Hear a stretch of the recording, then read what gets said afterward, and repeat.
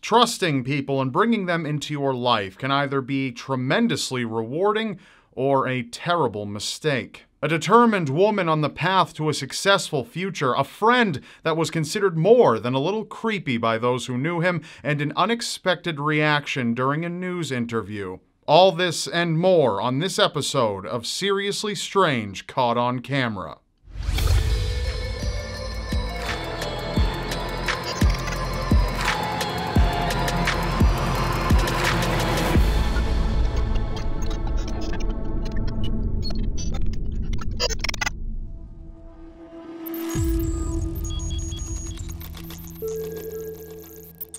Lauren Giddings had a mind and work ethic that would inspire all those around her. Lauren was known by friends and family as an overachiever that strived for success in her academics. Aside from her studies, Lauren was an athletic 27 year old that was popular amongst her peers and was a family oriented woman that deeply cared for the loved ones in her life. Her sister Sarah was able to recall times in their childhood when Lauren would carry textbooks with her wherever they went. On May 14, 2011, Lauren graduated from Mercer University Walter F. George School of Law in Macon, Georgia, earning her herself a Juris Doctorate degree that would guide her in attaining a career in criminal defense. Lauren sought opportunity in leading her peers and was the president of the Federalist Society during her studies in Mercer University. A life of hard work and success was awaiting the determined law graduate, or so she thought.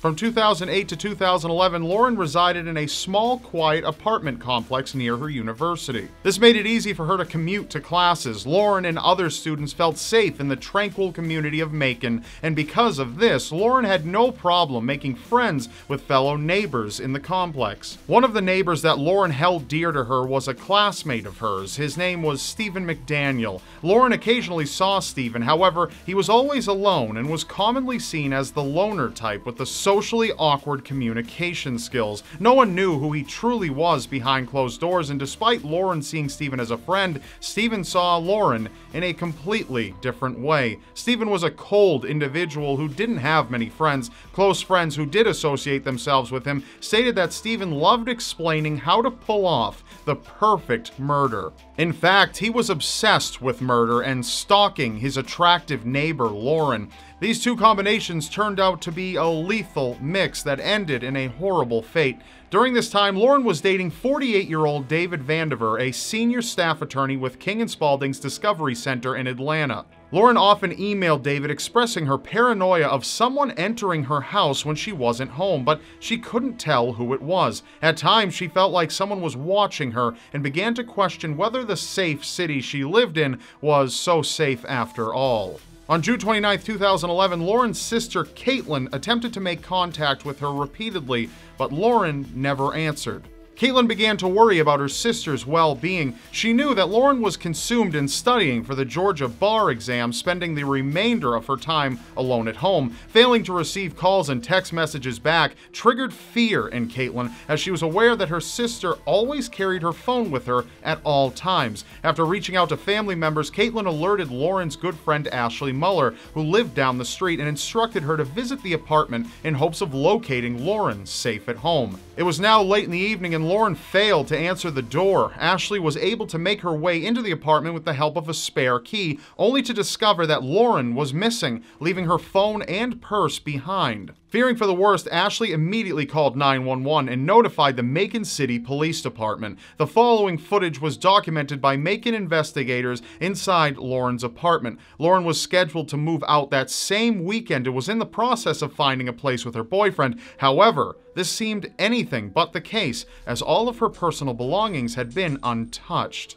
Ashley, with the help of her boyfriend Garen, was able to gather a late night search party, one which included Stephen, Lauren's murder obsessed next door neighbor. Time was ticking and left investigators with no other option than to declare Lauren missing. Just as detectives were in the middle of searching for evidence of foul play, a breakthrough was made after garbage bins beside the complex had been emanating a smell of rotten flesh, an unforgettable smell easily identified by officers. As soon as they carefully inspected the bins, investigators pulled out a heavy black garbage bag. Inside of this bag was the mangled torso of a female. The Giddings' worst fears became a reality after they sat down to read an online Macon news article which stated that a torso had been found in Lauren's apartment complex. Screaming and crying, the family knew it was Lauren's dismembered body. Lauren's father, Bill Giddings, drove 11 hours from the family home in Maryland to Macon in order to get a precise answer regarding the discovery. Those 11 hours driving straight to Macon on his own were agonizing and something that no parent should ever have to experience. DNA on the torso and a DNA sample taken from Lauren's father confirmed it to be the 27 year old, which led officers around Macon to begin searching every crevice of the city to find the remaining parts of her body, going as far as searching every little piece of trash within the city landfills.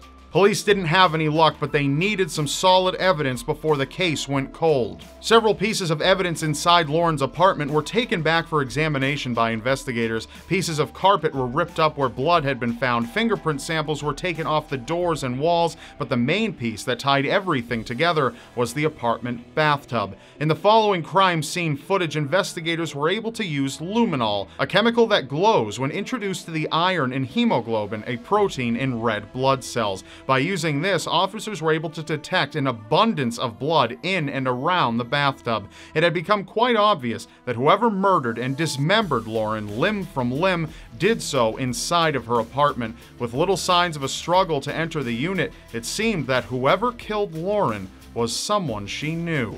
So officers began questioning close friends and acquaintances. On June 30th, Stephen was interviewed by a Macon news station. During his one on one public interview, it is noticeable that Stephen acts calm and collected while answering questions, until the reporter informs him that a torso had been recently discovered. His entire demeanor changes from seemingly normal to a man who was soon to be on the verge of a mental breakdown. I know they've been doing a lot of, I think that's where they have recovered the body or whatever they recovered from there. Body? Um, had you heard, any, had you seen anything there? Are you okay, sir? I I think I need to sit down. Okay.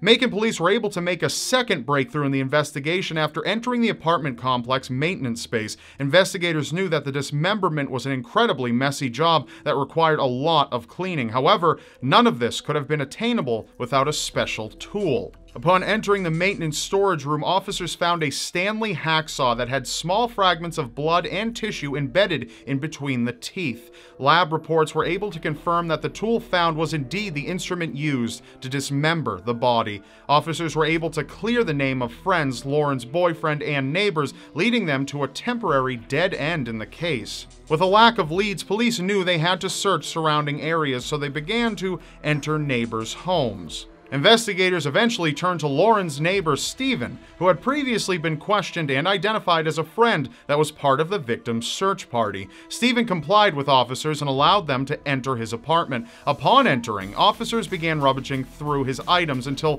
Stephen confessed to an unusual hobby. Stephen explained to officers that he had a copy of the master key belonging to the apartment complex and would enter residents' homes to steal items, specifically condoms and women's undergarments. Officers now saw Stephen as a primary suspect in the case and charged him for burglary, giving them a second opportunity to question him in the murder of his neighbor. Once in police custody, investigators discovered scratch marks on Stephen's abdomen, as well as a pair of women's underwear in his drawer and packaging that belonged to a Stanley hacksaw. A laptop belonging to Stephen uncovered disturbing searches that had been recently made, such as nude Lauren Giddings, molest sleeping girl, escape prison, choked unconscious, how long to wake up, how to erase browsing history, and much more. A video camera found in Stephen's bedroom captured one piece of footage timed on the same evening that Lauren was murdered on June 26th.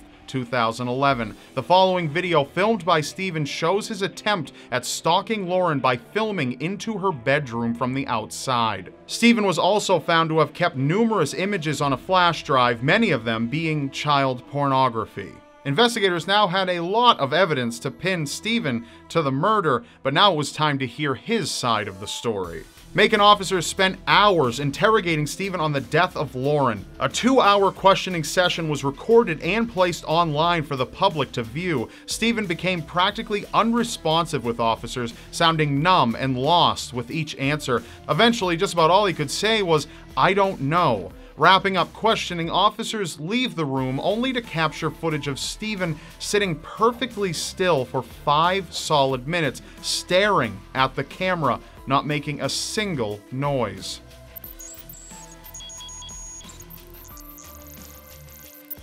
Police eventually came to the natural conclusion that Stephen was responsible for Lauren's murder and therefore charged him with it. Stephen's trial took place at Bibb County Law Enforcement Center. A plea deal was set if Stephen agreed to plead guilty and give a detailed confession to the death of Lauren Giddings. In April 2014, Stephen confessed in front of the court to entering Lauren's apartment at approximately 4:30 a.m. Stephen then stated that he stood over Lauren watching her sleep until she woke up terrified to find the tall man in a black mask standing over her. For 15 minutes, Stephen proceeded to violently strangle Lauren with his bare hands. In an attempt to save her life, Lauren tumbled off the bed and struggled to get Stephen off of her. Lauren was able to rip off her mask only to realize it was her friend and neighbor, Stephen. In shock but completely subdued by Stephen, Lauren begged him, calmly saying, Stephen, please stop. But Stephen refused to listen and continued to strangle Lauren.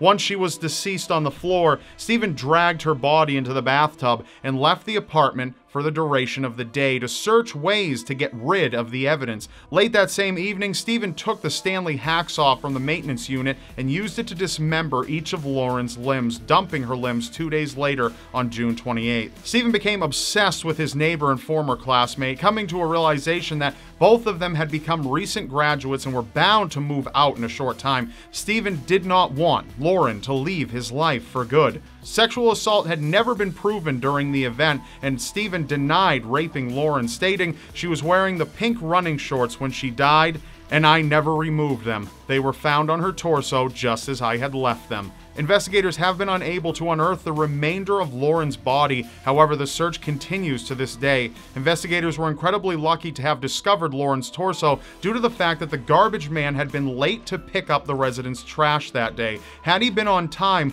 Lauren's torso would have been discarded far away from investigators.